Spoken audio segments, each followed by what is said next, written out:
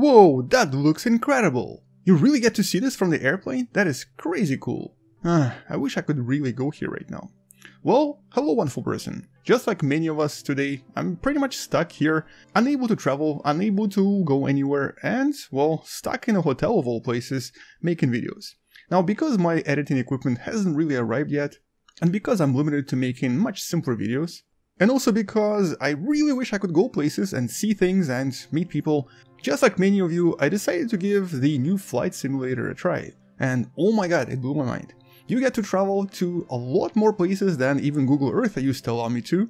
And most importantly, all of this is created in extremely realistic environments. By the way, totally not sponsored by anyone. Microsoft doesn't really want to talk to me because I run Linux and I don't really use Microsoft products, I guess except for this one. But I only paid a dollar for this, I get to use it for a month, so why not?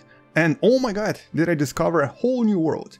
So in this video and possibly the next few videos, I wanted to actually go explore places and more specifically explore some of the most incredible craters on our planet, some of which you may have never heard of, like for example this one right here about which we'll talk about soon. Maybe not in this video, but soon. This is probably the coolest crater I've ever seen. It is absolutely mind-blowing.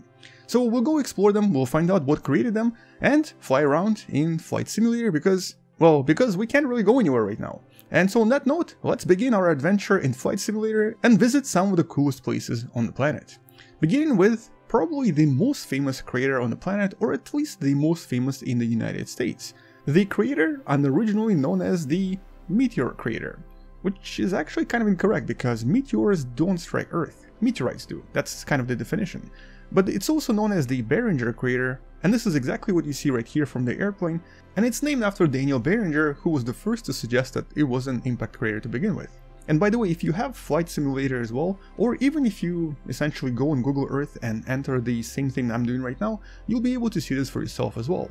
All of this can be found on the Wikipedia for each of the craters and essentially what you want are the coordinates right here and then click on the Google map and get these coordinates right here. Then inside the flight simulator on the world map, all you have to do is paste all of this in here, choose the location, then once you set it as a departure, you can click on fly and begin. I personally find this airplane to be one of the easiest to control and to fly over something at relatively slow speeds, but there are other ones you can choose from. By the way, I actually didn't want to choose Icon A5 mostly because it does have a relatively low reputation for being somewhat unsafe. In the past few years, these uh, so-called sports airplanes have resulted in several major crashes simply because of their small size. They're a lot more difficult to control and even professional pilots have trouble with them.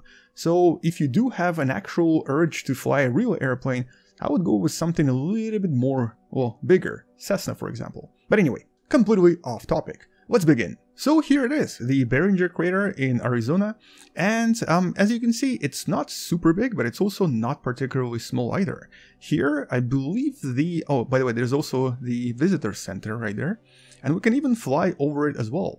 But first, let's fly through the center. Apparently it's approximately 170 meters deep, or about 560 feet uh, deep, and the rim itself is about 45 meters, so that makes it a pretty large crater. In terms of the actual diameter, it's about 1200 meters or about 3000 or sorry, 3900 feet.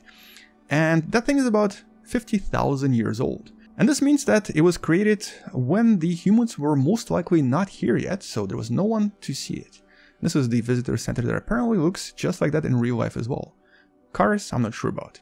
Anyway, so as you can see, it's a very, very beautiful formation, extremely beautiful, um, even more beautiful in real life, obviously, but this is the best we can do for now. And this uh, crater is actually even big enough for us to land in, although I'll probably not be attempting it here, because I wanted to leave this for another crater later on. Anyway, so this is probably the most famous location in the US when it comes to impact craters. And interestingly, one of the main reasons why it's still even around and hasn't really weathered much is simply because of the Arizona climate.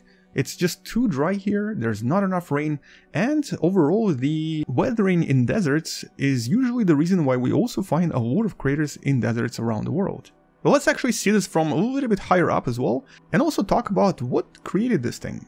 And despite the relatively large size of this crater, and by the way I can't really seem to get much higher in this tiny airplane, the object that created it was roughly around 50 meters or 130 feet across.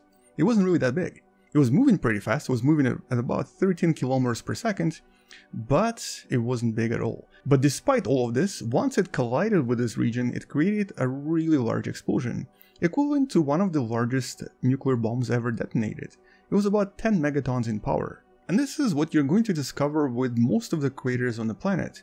The craters that are very quite easily visible and the ones that are slightly younger are the ones that were created by relatively smaller rocks. Whereas the largest craters, like the one that led to the demise of dinosaurs, or even the most recently discovered very large crater in Greenland that's not marked here, which are usually at least 20 kilometers in diameter, were produced by much much larger rocks. Normally something that's at least 1 kilometer in size. And these types of craters are usually millions of years old, are also extremely difficult to find, and are not generally apparent unless you start investigating what's underneath the ground there. One of the best examples of this in the United States is the Decorah crater in Iowa that you can only really see once you start studying the geology of the region. As you can see, it's roughly around 6 kilometers or 4 miles in diameter and was probably created by something about 100 times more powerful than whatever created this here. So in that sense, as you can see, for the most part, we're going to be seeing these smaller craters a lot more frequently. As a matter of fact, the vast vast majority of all of the craters on the planet are long gone. We still have some very small craters left, like the Barringer that's right here, and a few other ones we're going to be exploring in this simulation, but most of the craters are unfortunately no longer there. And by the way, if you'd like to see all of the craters on our planet in more detail, the Earth Impact Database has all of the information about 190 craters we've found so far. Here's what all of this sort of looks like, and you'll see that the majority of them are in deserts. Moon on the other hand has over 5000 large craters and over a million craters that are either similar in size or larger than this right here. So this kind of shows you how our planet has been really good at hiding these things. And so finding and seeing something like this on our planet is relatively rare. If you ever got to see this, you can consider yourself pretty lucky. But we should probably also go explore some of the other ones in other countries, um, especially because some of the other craters look very different and also have some really really cool features there that this one doesn't have. Let's go to Australia. The next crater is known as the Wolfe Creek crater. Let's select the coordinates, jump to Australia, select this as departure once again, and here we go, we find ourselves in a completely different environment. Now I'm going to have trouble controlling the plane while trying to talk and also look at the camera and also do a lot of other things. But basically, there it is. This is the crater we're here to visit. It's very different from the uh, crater, also known as the Meteor crater. And what's interesting here is that even though the size in terms of diameter is not really that much smaller, this is about 3000 feet or about 875 meters in diameter and about 60 meters or 200 feet in depth. This here was created by something that was about 3 times smaller. It was only about 15 meters in size, or about 50 feet in size, and that is kind of mind-blowing when you think about it. The idea here is that it most likely um, hit Earth at a different angle, and also at a much much larger speed, so it did create an explosion that was roughly similar in terms of the actual um, energy. And this explosion occurred roughly around 120,000 years ago. So here's the interesting part. There is actually at least one known legend um, that the Aborigines here have, and that's the people that lived in Australia for thousands and thousands of years. Um, and interestingly, it does have a description that almost sounds like they witnessed the meteorite strike itself. The local Jaru Aboriginals uh, refer to this as the Kandi Malal, and one of the stories the Aborigines have about this crater is in regards to a moon, a crescent moon, and an evening star passing by very close to each other and according to them, the evening star became so hot that it fell to the ground, causing an enormous explosion and flash, which was also followed by a very large dust cloud. Now that sure sounds like a meteorite strike, and honestly this kind of means two things. Either this happened within the last 50,000 years when the Aborigines were already present in Australia, or they came here to Australia much much earlier and were able to witness this within the last 120,000 years. Either one of these would actually make for a really interesting study in history of Australia and of course in uh, trying to understand when this collision happened. And also according to the legend, the people were also extremely scared to visit this area and by the time they got here, um, it did look like something smacked into the planet, which is why the legend involves, I guess, a kind of a collision to begin with. What's interesting about the Australian Aborigines is that a lot of their traditions are oral and they're also passed from generation to generation for thousands and thousands of years, for practically at least 50,000 years. And at least a few do sort of sound like telltale signs of asteroid collisions um, that were witnessed by nearby Aborigines. At least one of them also involved the potentially poisonous gas that this created, which altogether means that Aborigines could actually be some of the oldest eyewitnesses that have been able to keep the records of these events through generation of storytelling and all sorts of songs and other oral traditions that they have. Anyway, I thought that was pretty cool, but um, does this actually look like it does in real life? Well, let's take a look at the picture and see if this compares to reality. Here's a wonderful picture I found on Flickr from Stephan Ridgway who took this with his drone and this looks absolutely mind-blowing. Especially because this one seems to lack the ridge itself, but we have a cool looking forest in the middle and uh, something that's very similar to a salt deposit we're going to discover in one of the other craters later on. Anyway, so discovering these places definitely gave me a kind of a sense of liberation that we all need in these relatively difficult times. So this is crater number 2, the Wolfe Creek crater. Let's go to the next one. This one is going to be a little bit different. We're now going to Germany, and there is a city that was built inside one of the larger craters on the planet. This is the city known as Nordlingen, and you can kind of sort of see it right there underneath the airplane. And so here, if you look down, you can kind of start seeing the circular shape. Now here is the tricky part. I actually thought that this was the crater itself. As a matter of fact, a lot of sources online do suggest that essentially this is the crater and the city is inside the crater, with the shape of the impact being defined by the city shape, which apparently is not true at all, because the crater itself is much much larger. And the city itself only representing a tiny part of the crater, but interestingly, all of the buildings, all of the walls, and pretty much everything else in the city is made out of the meteorite material, which also means that Every single building here has micro diamonds on the inside, which makes this one of the most fascinating places on the planet. As you can see in this picture from NASA, the city itself is here and the center of the impact is roughly around 6 kilometers or about 4 miles to the northeast of the location. This is about 15 kilometers in diameter and is roughly around 15 million years old and it was also most likely created by a rock around um, 1 kilometer in diameter. So these types of collisions are pretty rare. But the analysis of various types of rocks in this, specifically the rocks that these houses are made from, suggested that around 72,000 tons of microdiamonds were released in this area when the asteroid strike occurred and when this crater was created. But this doesn't mean that you should come here to try to mine for diamonds inside one of these buildings. These microdiamonds are pretty small, they're roughly around 0.2 millimeters in size.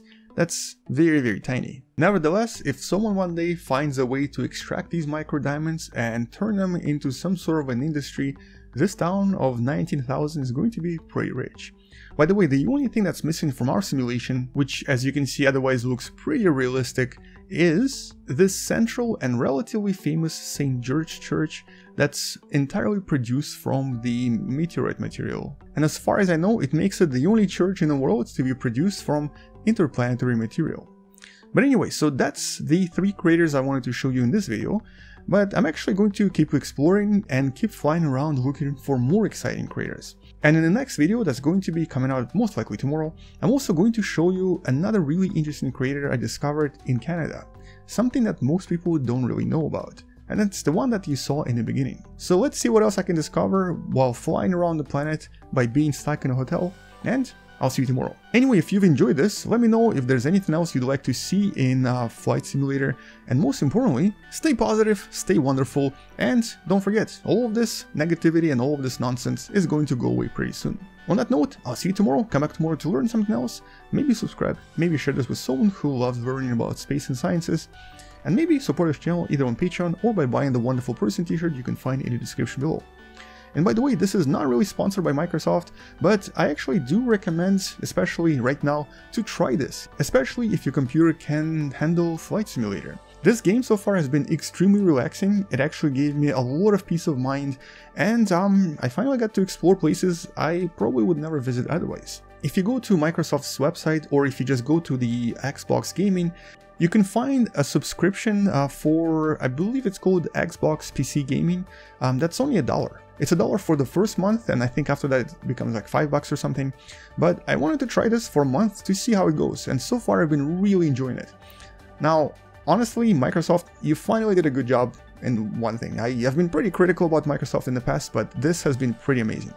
Anyway, so here we go. I'm going to try to land in Nordlingen. As I promised in the beginning, we're going to try to land in the crater, but oh, okay, it's not going well so far because I'm not paying attention to the important part here, which is of course landing.